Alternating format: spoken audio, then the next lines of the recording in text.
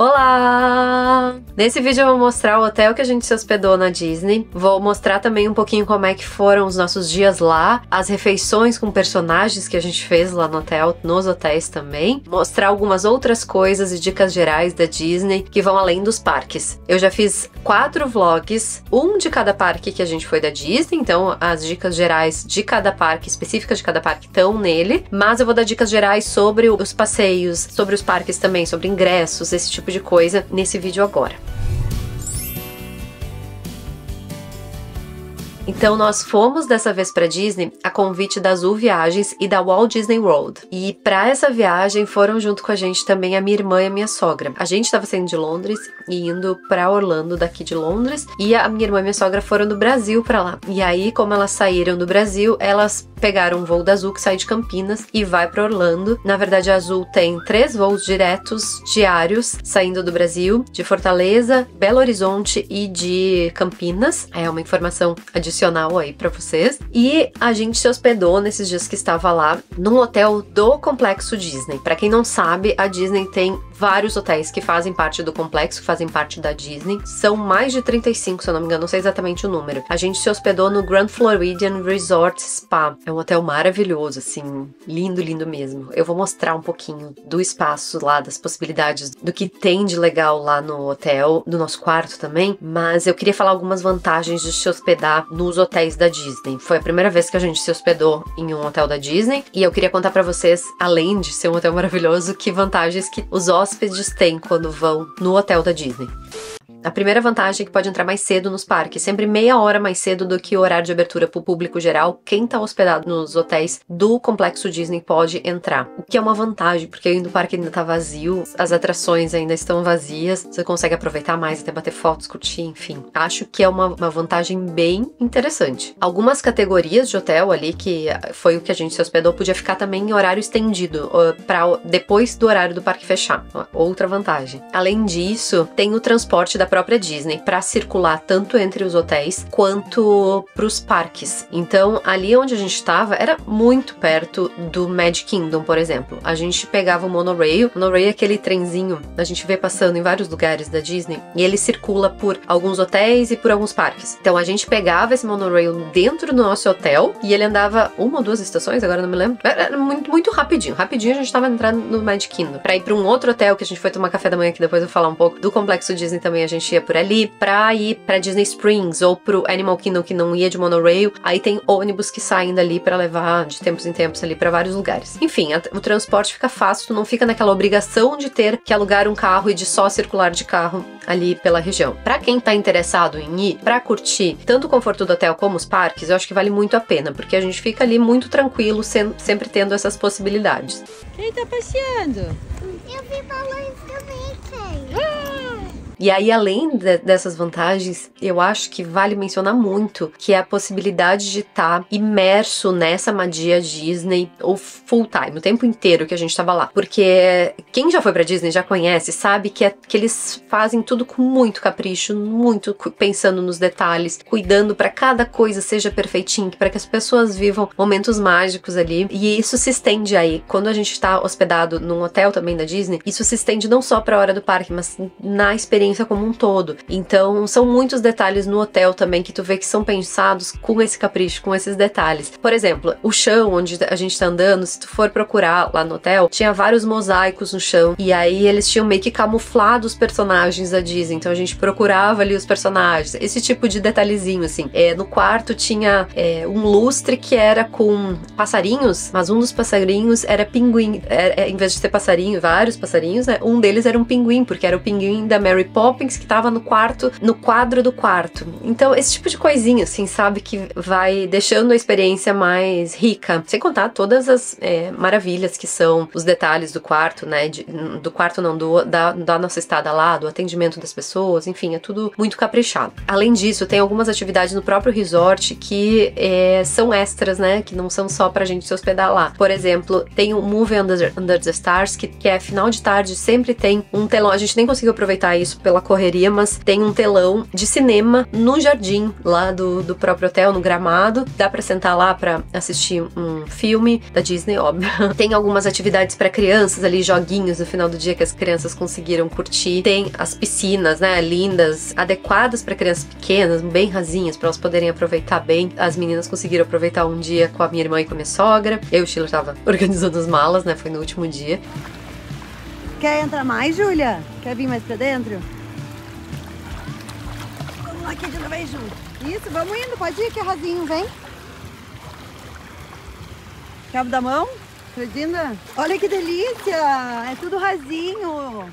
Viu, Alice, que você dá pé? Tem uh, opções de restaurantes, que eu vou falar daqui um pouquinho, um pouquinho melhor sobre os restaurantes, mas tem opções de restaurantes que tem refeições com os personagens, que a gente também foi, eu também vou mostrar. Então tem alguns detalhezinhos assim que acabam enriquecendo bastante a experiência e as férias, né? De estar toda imersa nessa magia Disney. Aí deixa eu mostrar um pouquinho do nosso quarto. Ele tinha uma vista linda que dava pro lago que tem ali, né? E se olhasse um pouquinho ali à direita, dava para ver o Magic Kingdom, o castelo do Magic Kingdom. Uau, amor, o que, que tem aí? Docinhos! É muito alta, amor. Deixa eu ver. Uau, que cama alta. Olha que lindo. Gente, o que, que tem lá, Júlia? O trem?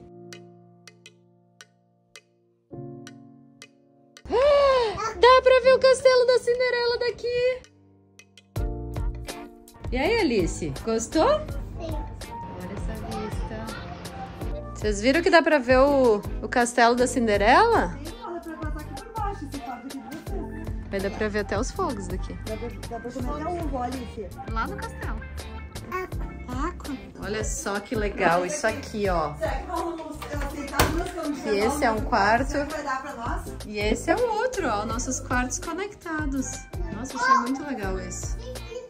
Um detalhe que parece pequeno, mas que eu adorei, foi a possibilidade dos nossos quartos serem conectados com o quarto da minha irmã e da minha sogra. Porque quando a gente viaja com mais gente, que não é, que a gente não vai usar só um quarto de hotel, às vezes a gente acaba se isolando muito, porque os quartos ficam separados e a gente não interage tanto. É diferente de uma casa, né? Quando fica numa casa, às vezes tu consegue interagir mais com quem tu tá viajando. Mas como ali tinha essa porta que conectava os nossos dois quartos, eu achei maravilhoso, porque a gente conseguia interagir o tempo inteiro. Ali as crianças ficavam com a minha irmã, com a minha sogra, é, a gente interagia, pegava uma coisa de um quarto do outro, conseguia circular muito bem. Então eu achei um dos pontos altos ali da gente, a gente ter esse tipo de conexão. E aí, como eu falei, tem esse encanto Disney, né, por todo lado, tem no quarto também. Muitos detalhezinhos ali pensados, tudo muito caprichado. Das opções de, de alimentação, então, especialmente no hotel. É, o nosso hotel tinha uns cinco restaurantes, op cinco opções de restaurantes. Dos mais rápido, assim, para pegar uma comida rápida que não precisava reservar, prático também, até um restaurante mais premiado. O Vitória Albert é o restaurante deles mais chique, né? Eles até têm dress code lá, né? Tem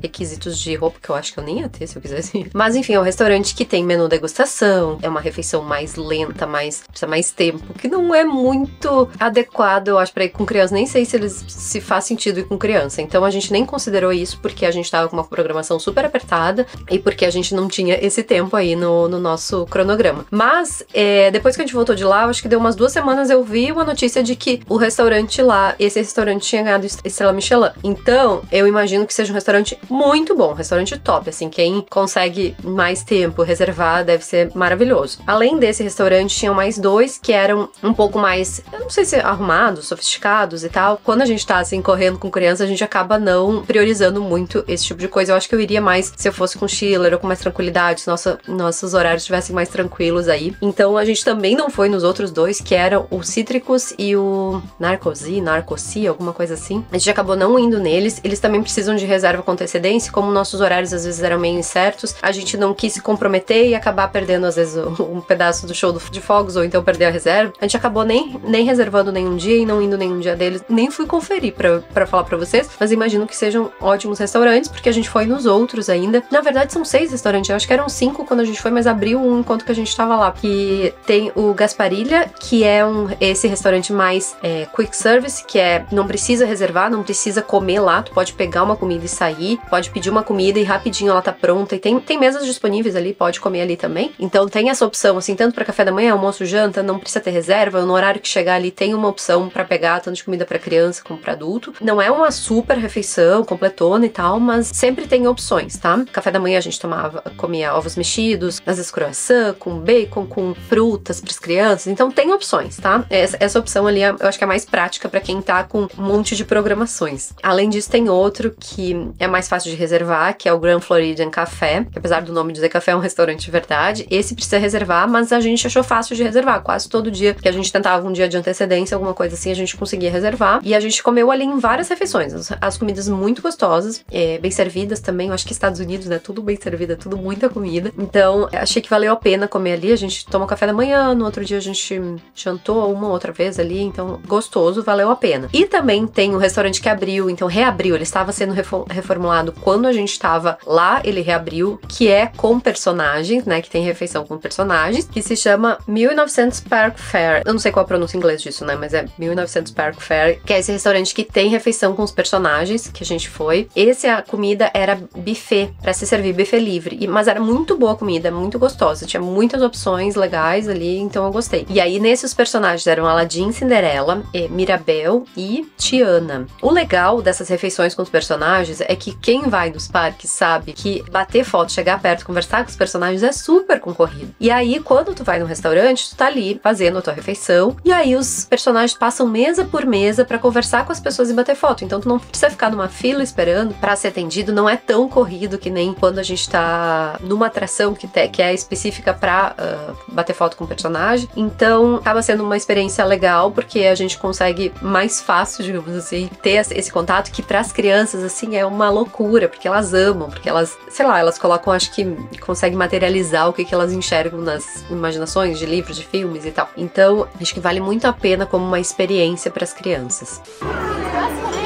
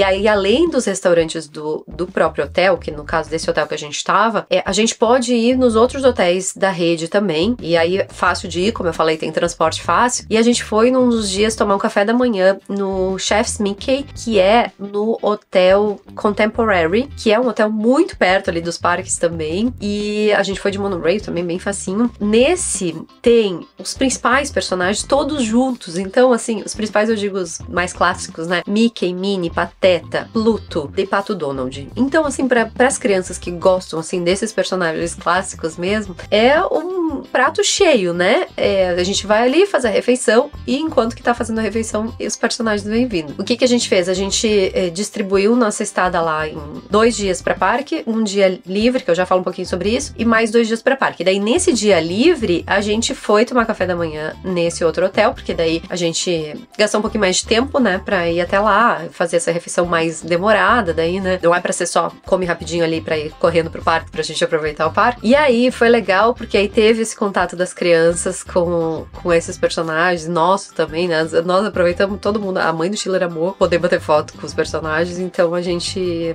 aproveitou vou mostrar um pouquinho para vocês como é que foi. Júlia, o Pateta! É o Pateta, amor!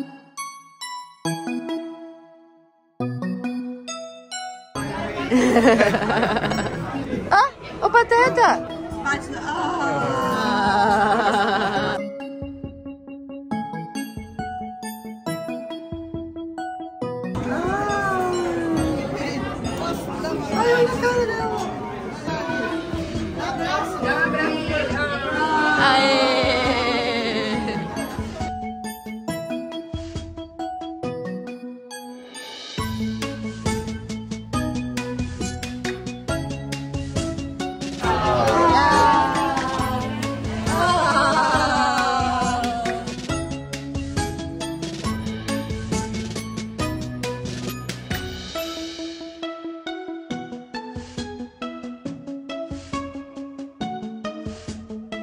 Uau, uau! É o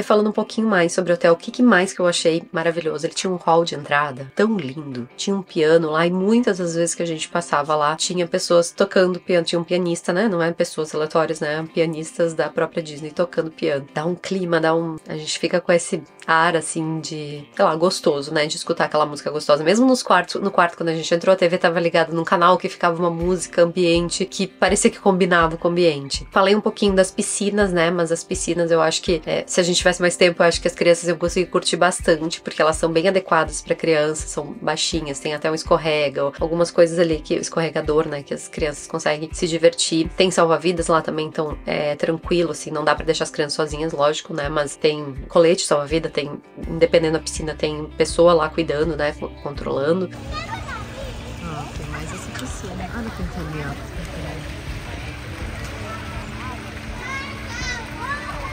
E ali tá outra. Ah, achei legal que tem colete salva-vida aqui, ó. As crianças tá lá pequenininho de colete. Ela fica mais segura.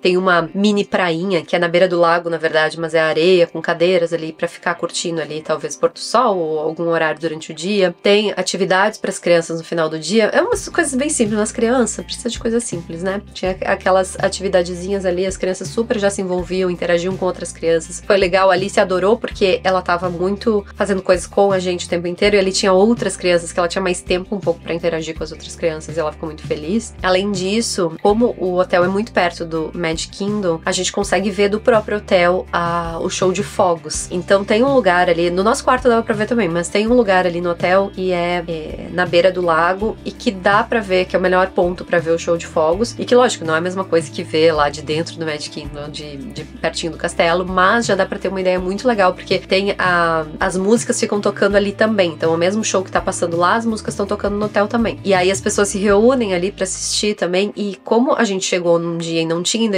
ainda ido pros parques, então a gente assistiu no primeiro dia ali, antes de assistir no Magic Kingdom. E aí foi muito lindo, foi muito emocionante, porque pra gente era novidade também, né? A Alice também tava, tava maravilhada, a Júlia também. Então foi muito legal ter essa possibilidade. Isso ajuda a criar essa mágica toda da Disney que fica no hotel também. O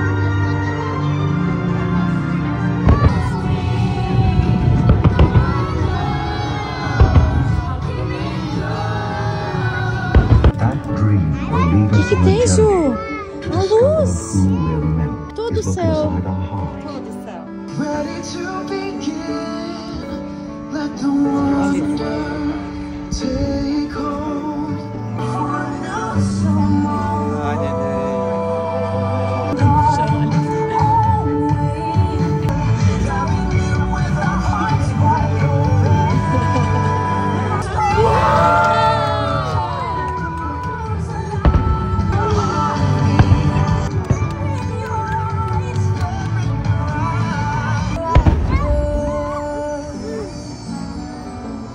E aí, pra complementar, pra ficar melhor, só podia ter um spa também, né? Schiller foi fazer uma massagem, eu fui fazer uma massagem, fui no último dia antes de ir embora e foi assim, ó, necessário, porque é muito dia carregando criança, que daí dorme, às vezes mamando, eu tenho que carregar caminhando o dia inteiro, então carregando no colo muitas vezes, às vezes vai no carrinho, mas às vezes não vai, daí tem que pegar, só andar um pouquinho. Quando vê as costas com mochila, minhas costas estão detonadas no último dia, eu fui lá, fiz uma massagem e foi maravilhoso.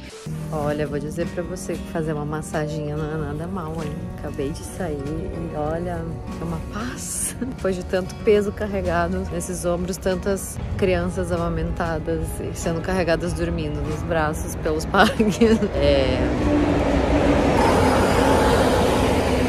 Esse é o spa que tem aqui no resort.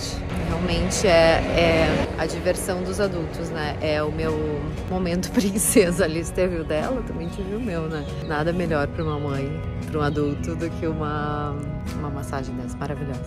Outro detalhe que também tem no hotel, em todos os hotéis ali, tem lojinhas da, da própria Disney, né? Dos parques todos, tem muitas lojas espalhadas da Disney, né? Cada um com as suas particularidades. Alguns itens são meio que básicos e tem por tudo, outros são personalizados daquele espaço. Digamos, a gente saiu do- da atração da Elsa, era na Noruega, e tinha, tinha coisas temáticas da Noruega ou da Elsa. É, algumas básicas tu encontra em outras lojas, algumas específicas às vezes só vai encontrar lá. Mas são muitas lojas espalhadas e as rotinas de parque são muito cansativas. Então, se a gente ficar parando pra ver loja no meio dos parques, às vezes a gente deixa de ir numa atração por causa disso, né? Porque tem cansativa no sentido de ter muita coisa pra fazer. Né? Então, às vezes a gente tem que acabar priorizando. E eu acho que vale às vezes dar uma olhada em algum parque, alguma coisa específica que você goste mais. Mas dentro dos hotéis também tem essas lojinhas, então é, dá pra aproveitar e olhar as coisas no hotel ou num horário de folga, ou tá esperando ali alguma coisa, ou num dia de folga também.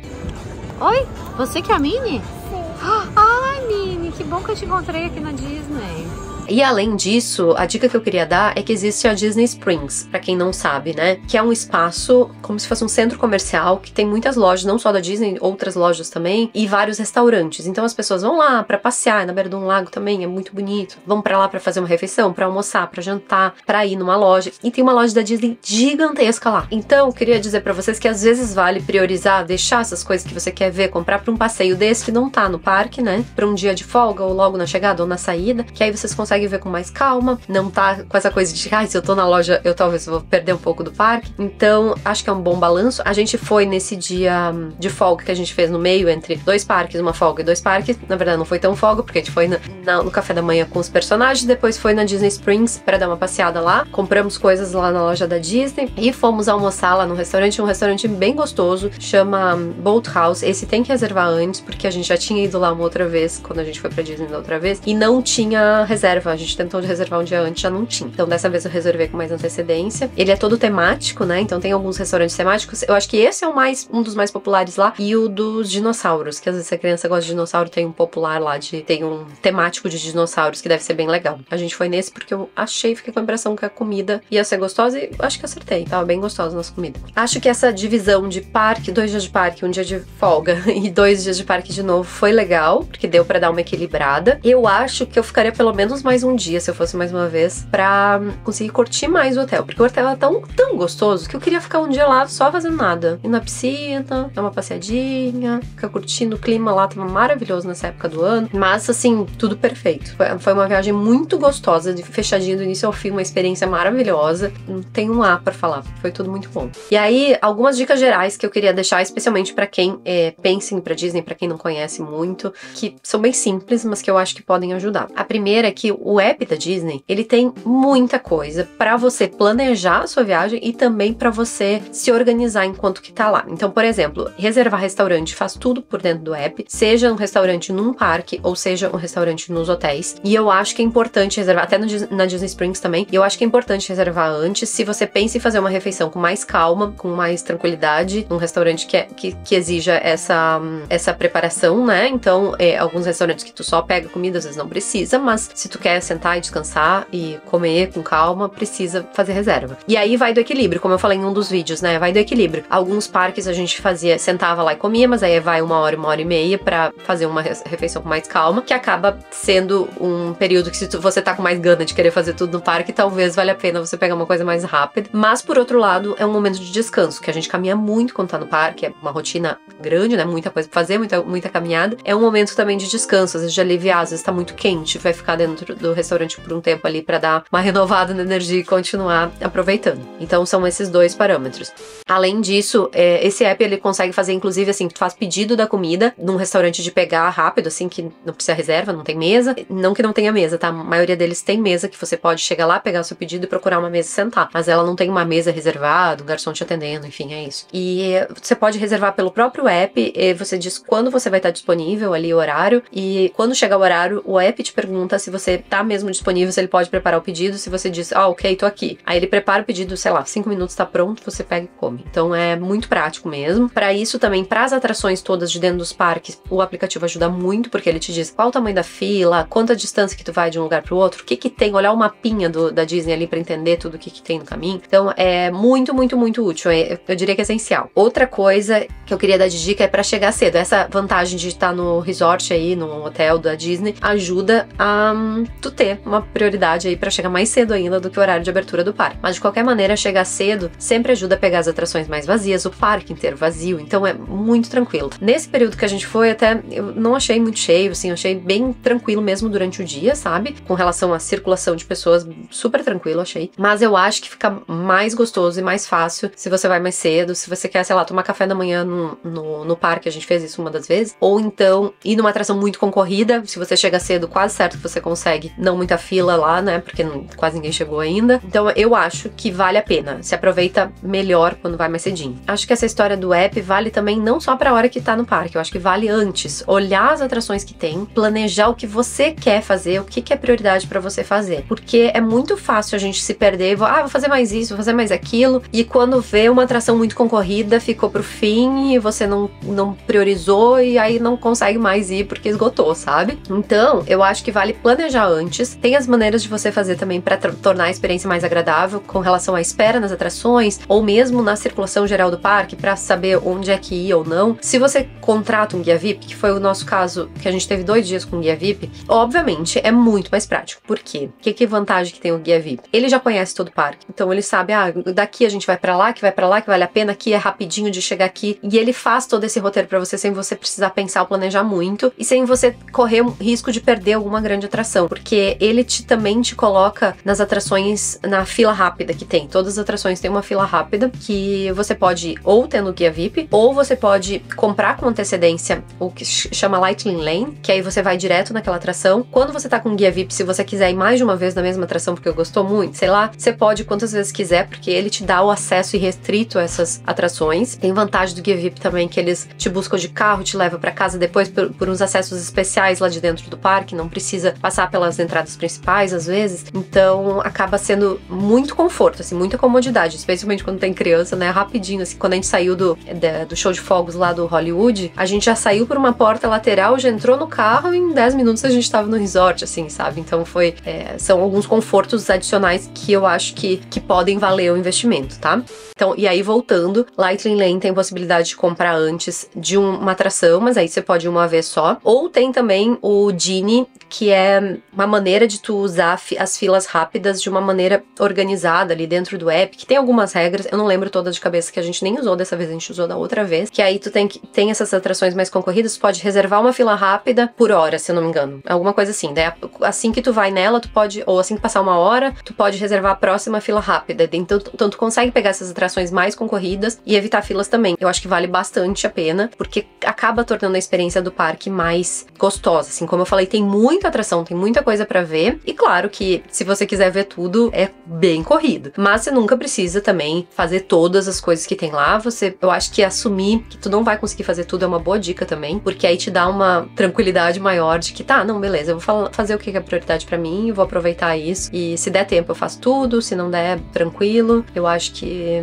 que assumindo isso, tu aproveita com mais paz e mais tranquilidade também. E mais uma dica que eu queria dar também é que para você, quando for planejar ou pesquisar antes, você pode ali no app pesquisar por personagem, por exemplo, que você ou que o seu filho goste mais. E aí você pode ver em qual parque tem alguma atração que tem relação com aquele personagem. Porque, por exemplo, Alice ama Frozen. E aí não é só um parque que tem uma atração de Frozen. Ela tem. No Epcot tem a atração da Frozen. Tem a, Elsa e a Anna passeando lá, que dá para bater foto. Hollywood tem o show, o singalong da, da Frozen. No Magic Kingdom ela fez a transformação lá em princesa, que é. Então cada coisa num parque diferente. Então você pode pesquisar ali no app de acordo com os personagens favoritos, é, ou atrações favoritas, para fazer esse planejamento melhor. Pra não perder alguma coisa que seja do seu personagem favorito. E a última dica é não perder o show de fogos, porque especialmente não sei, não sei. Eu ia dizer do Hollywood, mas o Magic Kingdom também. Enfim, dei um jeito de ver o show de fogos e eu te priorizar eles, porque eles são muito mágicos, muito lindos mesmo. E aí, por último, só queria deixar avisado que algumas dicas específicas de cada parque eu dei no, nos vlogs de cada, de cada um dos parques que a gente foi. Então assistam os vídeos, se você estiver planejando também, assista esses vlogs, que eu acho que pode ajudar vocês que estão indo a terem